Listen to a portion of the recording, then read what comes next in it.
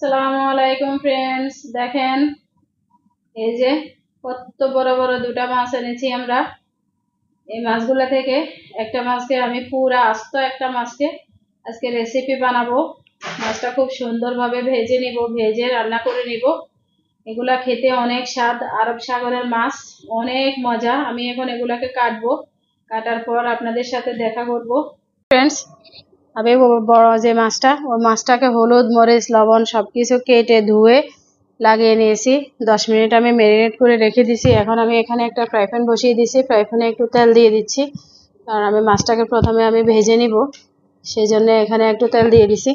তেলটা আমার গরম হোক, তারপর আমি মাছটা দিব। দেখেন, আমি মাছটাকে দিয়ে দিচ্ছি। আমার কড়াইতে জায়গা হবে না দেখে আমি মাছের লেঞ্জাটা আগলে রাখছি। কারণ লেঞ্জাটা দিলে মাছের কড়াইতে জায়গা হবে না, এটাকে আমি ফিটো ফিট করে ভালো করে ভেজে নিব।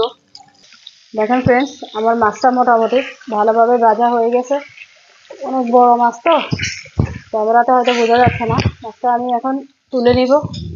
তুলে এখানে একটা ট্রেতে রাখব। এরপর কী করব দেখবেন। দেখেন ফ্রেন্ডস আমি এখানে চেঁচা চেঁচা রসুন দিয়ে দিচ্ছি। চেঁচা রসুনের তরকারি খেতে অনেক মজা। বিশেষ করে মাছের চেঁচা রসুন দিয়ে দেখবেন আপনারা। তারপরে আমি এখানে অনেকগুলা টমেটো পিউরি দিয়ে দিচ্ছি। কারণ টমেটোগুলা এমনি গোটা দিলে আমি মাছে খেতে পারি না, মাছে গোটা মানে ভালো লাগে না। তারপরে আমি এখানে পেঁয়াজের পেঁয়াজের পিউরি দিয়ে দিব। পেঁয়াজের পিউরি দিয়ে দিছি অনেকগুলা। মাছের টমেটোর পিউরি, পেঁয়াজের পিউরি। তারপরে আমি এখানে মশলাগুলো দিয়ে দিব। একে একে যা মশলা লাগে, এখানে লবণ দিয়ে দিছি। তারপরে আমি কাশ্মীরি মরিচের গুঁড়া দিয়ে দিচ্ছি। কাশ্মীরি মরিচের গুঁড়া একটু বেশি দিব, দেখতে ভালো লাগবে। এখানে হলুদ দিয়ে দিছি। যেহেতু সাগরে, আরব সাগর মাছ, সেহেতু এখানে একটু গরম মশলা ইউজ করতে হবে। গরম মশলা একটু না দিলে মাছের একটা সাগরের একটা গন্ধ লাগে, সে গন্ধটা লাগবে।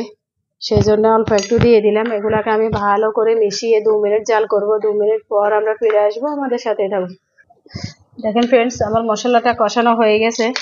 আমি এখন এখানে যে আস্ত মাছটা রেখেছি, সে বড় আস্ত মাছটা দিয়ে দিব। এভাবে এভাবে দিয়ে দিব। এখন মাছের লাঞ্জাটাও দিয়ে দিছি।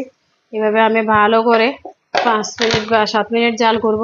সাত মিনিট বা পাঁচ মিনিট পর আমরা ফিরে আসব আমাদের সাথে থাকুন। দেখেন ফ্রেন্ডস মাসা আল্লাহ আবার এই মাছটা হয়ে গেছে। আমি এখন একটু ধনিয়া পাতা ছড়িয়ে দিব চারিদিকে। খুব সুন্দর লাগছে দেখতে। আমি এখন চুলাটা অফ করে দিব। এরপর সার্ভ করে আপনাদেরকে দেখাবো ঠান্ডা হলে। দেখেন ফ্রেন্ডস মাশাআল্লাহ, মাছটা কতটা সুন্দর হয়েছে দেখেন। দেখতে কতটা ভালো লাগছে, লোভনীয় লাগছে। যারা শুরু থেকে আমাদের ভিডিওটা দেখেছেন, সবাইকে অসংখ্য ধন্যবাদ। ভালো লাগলে একটা লাইক করবেন কমেন্টস করবেন আর শেয়ার করবেন। আপনারা আমাদের ভিডিওটা পুরা দেখবেন। এভাবে বানিয়ে খাবেন, আমাদের চ্যানেলটা সাবস্ক্রাইব করে পাশে থাকা বেলটা অন করে দেবেন, যেন নতুন নতুন ভিডিও পেতে আপনার নোটিফিকেশান চলে যায়। আপনারা আমাদের ভিডিওটা দেখবেন, আপনারা সবাই এভাবে মাছ রান্না করে খাবেন, দেখবেন অনেক মজা পাবেন, নতুনত্ব পাবেন মাছের ভিতরে। আপনারা সবাই ভালো থাকবেন, সুস্থ থাকবেন, আল্লাহ হাফিজ।